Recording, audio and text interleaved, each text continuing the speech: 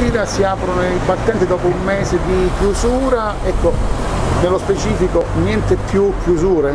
Sì, eh, buongiorno, oggi ufficialmente apriamo eh, la zona arancione e dopo tanti vari colori e dopo il rosso confermato iniziamo a lavorare, riapriamo la nostra attività.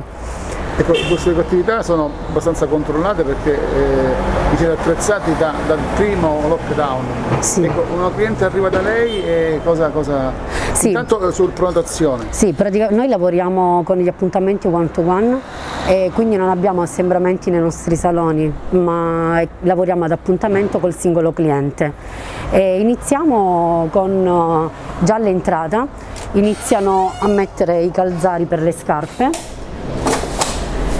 e ehm, poi comunque Giussi si occupa anche insieme a me della parte estetica, collabora insieme a me e quindi misuriamo la temperatura al cliente l'igienizzante mani all'entrata e poi comunque vanno all'interno delle cabine quindi l'attesa non c'è. Infatti come vedete c'è una cliente che sta facendo la postazione unghie. Buongiorno Antonella.